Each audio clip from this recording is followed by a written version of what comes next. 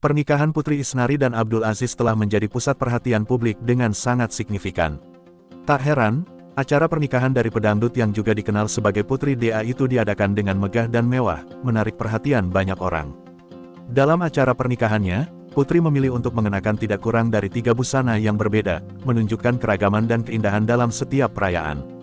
Mulai dari pakaian dengan konsep India yang khas, hingga gaun putih yang dipercantik dengan aksen kupu-kupu di bagian dada, serta pakaian hitam yang memikat dengan hiasan emas yang memikat, setiap busana mencerminkan keanggunan dan keunikan putri dalam memilih gaya yang sesuai dengan momen bersejarahnya. Kemegahan acara pernikahan tidak hanya tercermin dari dekorasi yang luar biasa, souvenir yang diberikan kepada para tamu, dan para pengisi acara yang diundang dengan cermat. Namun, yang benar-benar menarik perhatian banyak orang adalah saat Haji Alwi Ruslan, ayah mertua Putri Isnari, melakukan aksi bagi-bagi uang yang sangat mencolok. Aksi tersebut menjadi sorotan utama dalam perayaan, menciptakan momen yang tak terlupakan bagi semua yang hadir.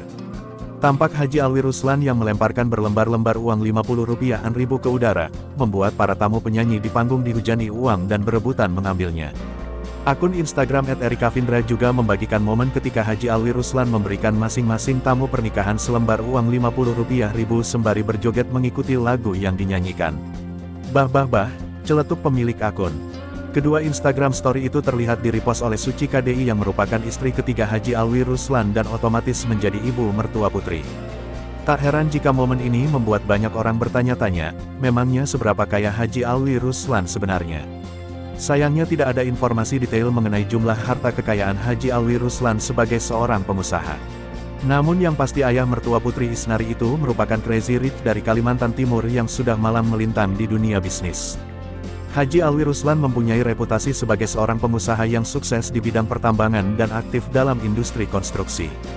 Oleh karena itu, tidak mengherankan jika kemampuan finansialnya memungkinkan untuk menyediakan uang panai hingga mencapai jumlah yang signifikan, yaitu 2 miliar rupiah, sebagai bagian dari pernikahan Putri Isnari. Selain itu, kemampuannya dalam mengelola bisnisnya memungkinkan dia untuk menyelenggarakan perayaan pernikahan yang besar dan mewah untuk anaknya, Abdul Aziz, mencerminkan kemewahan dan kemurahan hati keluarga Ruslan dalam merayakan momen bersejarah ini.